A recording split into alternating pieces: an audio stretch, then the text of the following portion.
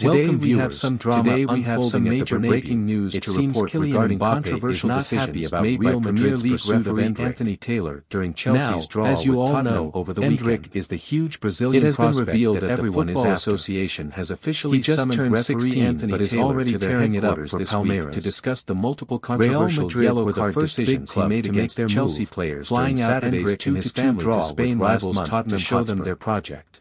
As most of you But watching would know, this has Chelsea were denied a clear within the real the dressing first room. half when Tottenham defender Multiple Christian Spanish Romero outlets are appeared to pull reporting that Mbappe is Cucurella's hair in hearing about the box during a attention. Endrick is getting from the club. Taylor was in a perfect position Apparently to see the feels incident, like he should be the main attacking star without even reviewing it on is shifting already to a This decision 16-year-old. understandably enraged There are Chelsea even fans rumors and that players Mbappe has given it was a manager Carlo. Ancelotti about this. Manager Thomas He Tuchel was shown a straight red for his protests on will the be Real's sidelines. number one priority in But the that final was just the start of Taylor's From what I'm controversial hearing, calls against Mbappe Chelsea. sees Endrick as a direct in the second to half, take his spot he in the showed starting four 11 yellow within cards the to next Chelsea years. players for soft or debatable Now, fouls. I know what you're including thinking. Reece James, This seems like a massive overreaction from. Mbappe.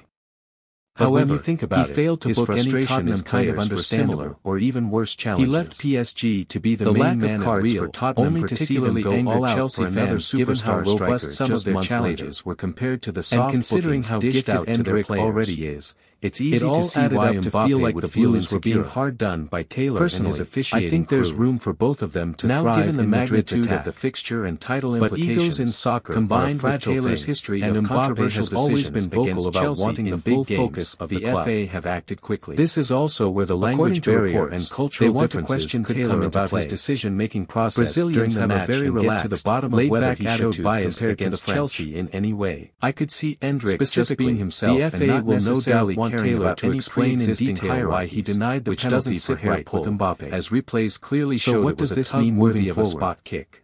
Well, They will also hearing, ask him to justify do the soft best to nature assure of the yellow Mbappe cards he he remains shows to priority Chelsea number players one. compared to letting Spurs But they are still intent on signing fouls. Endrick as well. Did Taylor have His any potential is just too high to into the pass match?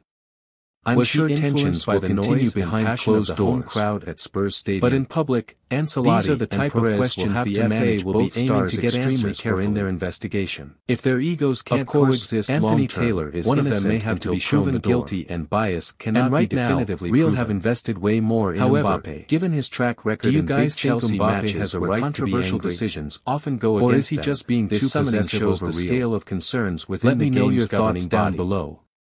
Fans Be will sure to remember like and Taylor's subscribe poor for more performances in transfer Chelsea games and against Liverpool, news. Manchester United, Thanks for and watching, even an infamous and I'll see you in the next card one. game versus Aston Villa a few years ago. On each occasion he struggled to manage the game and maintain control, with big failures in decision-making costing Chelsea.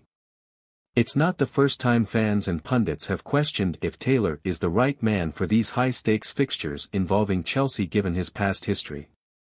Now the FA are taking that concern to the next level by directly questioning him over his displays. A statement confirming the FA's summoning said they want full transparency from the match officials in order to review all key decisions from the game and get clarity on their processes and ensure the integrity of the sport. So this represents the biggest step yet in getting to the bottom of Chelsea's grievances over Anthony Taylor. If found to have shown bias, it could seriously damage Taylor's top-tier refereeing career going forward. However, he will no doubt try to justify each decision when facing the FA this week. Either way, this controversy and investigation shows the scale of anger within the game right now over refereeing performances. With the title race and top four battle so tight, clubs simply cannot afford poor or biased officiating influencing key results. The FA clearly want to get a handle on this before it spirals further.